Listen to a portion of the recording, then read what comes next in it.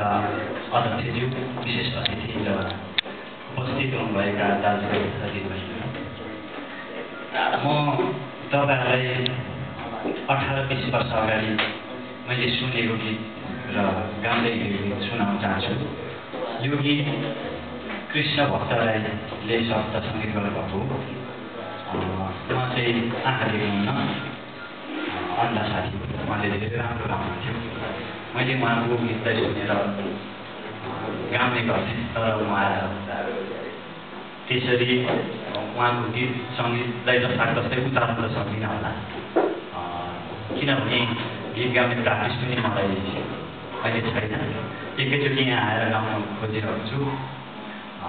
गल्ती भयो भने क्षमा गरिदिनु होला